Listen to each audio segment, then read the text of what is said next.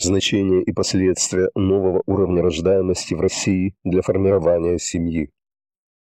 Из многих последствий, которые можно выявить на основе данных, предоставленных в этой главе, три тенденции, в частности, заслуживают упоминания на данном этапе, поскольку они влияют на перспективы развития и или национальную безопасность Российской Федерации.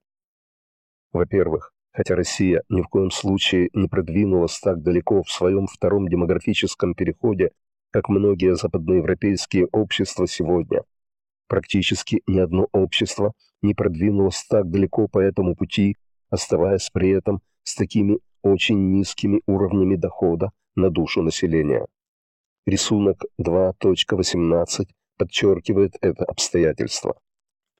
Эта цифра детализирует соответствие между коэффициентами внебрачных рождений и уровнями дохода на душу населения в пределах большого европейского пространства на протяжении жизни поколения с 1990 года.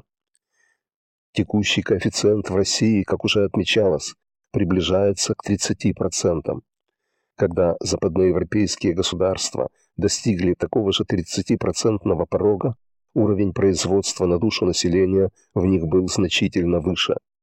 Для сравнения между Россией с одной стороны и Францией, Австрией и Великобританией с другой, соотношение на душу населения было почти 3 к 1. Для России и Германии это соотношение составляло более 3 к 1. По отношению к Ирландии и Нидерландам это соотношение составляло более 3,5 к 1.